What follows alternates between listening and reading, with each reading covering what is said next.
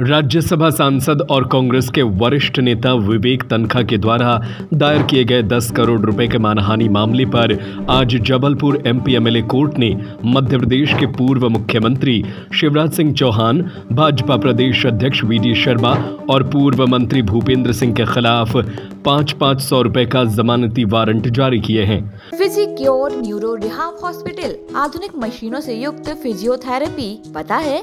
पारस Vidya Vihar, school के सामने तिली रोड, सागर। कोर्ट की अवमानना करने पर पिछले डेट को रिवाइज कर एक माह पहले हाजिर होने के लिए तीनों ही नेताओं को आदेश भी दिए गए हैं। अब इस मामले की अगली सुनवाई सात मई को होगी, जिसमें तीनों को कोर्ट में उपस्थित होना पड़ेगा। दरअसल, लोकल इलेक्शन के दौरान पूर्व मुख्यमंत्री शिवराज सिंह चौहान, प्रदेश अध्यक्ष डी शर्मा और पूर्व मंत्री भूपेंद्र सिंह ने आरोप लगाया था कि राज्यसभा सांसद विवेक तनखा ने ओबीसी आरक्षण रुकवाया था।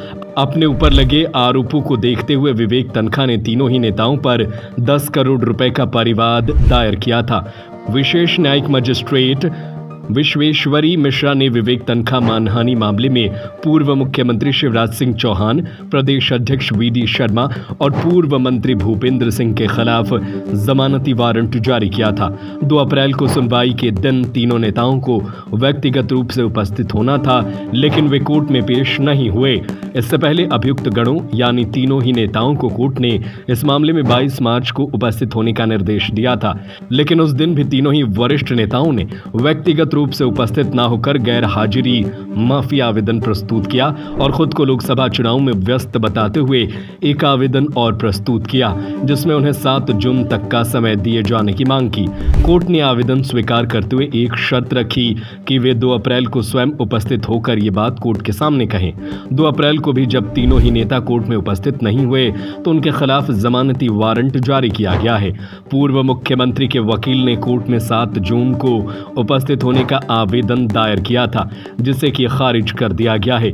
लोकसभा चुनाव का हवाला देकर व्यक्तिगत उपस्थिति से बचने के लिए तीनों ही नेताओं ने कोर्ट में आवेदन दिया था। एमपीएमएलए कोर्ट की विशेष न्यायाधीश विश्वेश्वरी मिश्रा ने जारी आदेश में महत्वपूर्ण टिप्पणी की है। उन्होंने कहा कि सभी भाजपा के वरिष्ठ नेता हैं। वरिष्ठ नेताओं से कोर्ट के प्रति सम्मान दिखाने की अपेक्षा ज़्यादा रहती है। व्यक्तिगत व्यस्तता बताकर न्यायालय के आदेशों का पालन न करने से आम जन में गलत मैसेज जाएगा। और क्योंकि मान्य सर्वोच्चतम न्यायालय के दो जजमेंट हैं जिसमें कोर्ट ने कहा है कि जब आप किसी को हाजिरी माफ़ी देते हैं तो उनकी एक परिवचन लेने की आवश्यकता होती है एक अंडरटेकिंग लेने की आवश्यकता होती है। तो अंडरटेकिंग की आवश्यकता के लिए कोर्ट ने इस मामले को दो चार दो हज़ार चौबीस को अपने आ, सामने लगाया था। कल जब ये प्रकरण कोर्ट के सामने लगा स्पेशल कोर्ट एमपीएमएलए के सामने जब ये लगा तो एक आवेदन और आया तीनों अभियुक्तों की ओर से कि आज वह परिवचन अंडरटेकिंग देने में असमर्थ हैं, क्योंकि तीनों लोग लोकसभा प्रत्याशी हैं और वो अपने अपने क्षेत्र में लोकसभा चुनाव में व्यस्त हैं। इसलिए उनको एक अवसर और दिया जाए। इस पर हमारी ओर से आपत्ति प्रस्तुत की गई। आपत्ति पर संज्ञान लेते हुए मान्य न्यायालय ने अब आदेशित किया है कि क्योंकि अंडरटेकिंग के अभाव में जो सात हज़ार चौबीस की डेट नियत थी उसको एक महीने पूर्व की कर दिया गया है।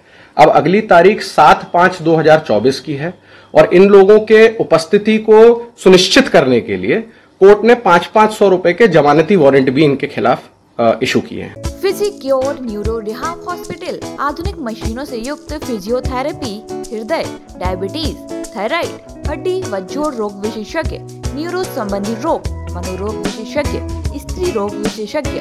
आपके नगर में अनुभवी एवं प्रतिष्ठित विशेषज्ञों की टीम। पता है, पारस विद्या विहार स्कूल के सामने दिल्ली रोड, सागर।